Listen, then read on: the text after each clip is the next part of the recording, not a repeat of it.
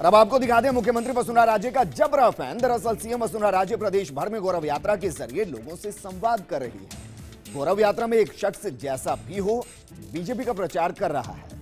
अलवर के मंडन का रहने वाला गौरव यात्रा के दौरान उनके रथ के आगे बाइक पर चलता है।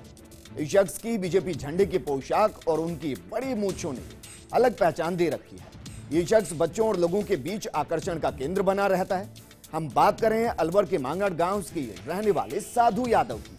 साधु यादव गौरव यात्रा के आगे बाइक पर चलते हैं। बाइक पर बीजेपी का बड़ा झंडा लगा रहता है। उनकी बाइक मुख्यमंत्री के काफिले से आगे हवा से बात करती हुई चलती है। साधु यादव अब तक मुख्यमंत्री के साथ चार संभागों की यात्रा कर चुके हैं। साधु यादव भारतीय सेना से रिटायर हुए थे और उसके बाद गाँव में सरपंच रहे। उनको एक बार राष्ट्रपति पुरस्कार भी मिल चुका है। वो बीजेपी का कोई भी बड़ा कार्यक्रम और मुख्यमंत्री की सभा मिस नहीं करते। साधु यादव सभा में पहले पहुंचकर लोगों का मनोरंजन भी करते हैं और साधु यादव की उम्र का ज़िक्र करें तो वो साठ साल के हैं, लेकिन बाइक युवाओं की तरह दौड़ाते हैं। अपनी मूछों में ताव देते हैं तो कभी मुख्यमंत्री के नारे लगाते हुए बीजेपी के गानों पर जमकर थिरकते हैं।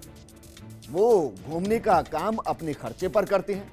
कई बार बीजेपी पदाधिकारियों और मुख्यमंत्री की तरफ़ से उनको खर्चा देने की कोशिश की गई, लेकिन उन्होंने साफ़ मना कर दिया। मुख्यमंत्री जब उनका नाम लेती हैं और उनको बुलाती हैं तो इसको एक नया जोश कहा जा सकता है जो उनके अंदर भर जाता है।